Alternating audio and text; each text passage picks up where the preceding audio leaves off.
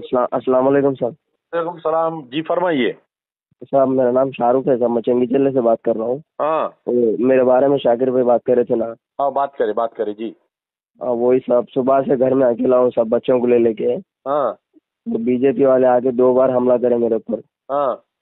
पत्थरों से मारे दरवाजे के पत्थरों से मारे टीनों के पत्थर फेंके। हाँ। मैं असद साहब से भी बात करा था। हाँ। असद साहब बोले रुको मियाँ मगरिब तक रुको मगरिब के बाद देखेंगे अपन मिल के बोले। हाँ। तो अभी तक भी कुछ भी एक्शन नहीं लिए साहब कम से कम पुलिस वालों को मेरे को प्रोटोकॉल दो बोलते तो नहीं दे रहे साहब टू हंड्रेड परसेंट मेरे ऊपर टारगेट है उन लोगों का।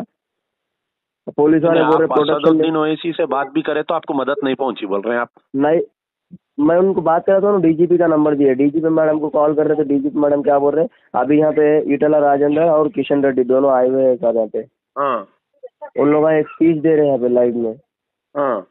तो हाँ। मेरा कहना क्या चंगी चल रहा है मस्जिद के पास में जब हमला हुआ।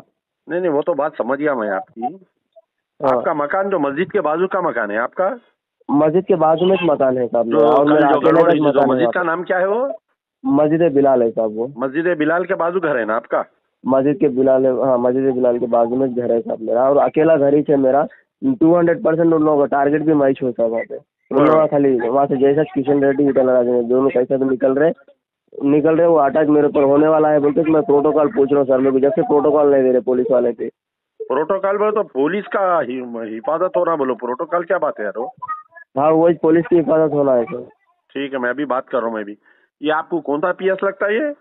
मेड़पल्ली पी एस लगता साहब मेटपल्ली लगता ना? हाँ। मैं अभी बात करके फिर आपको बोल रहा हूँ क्या है।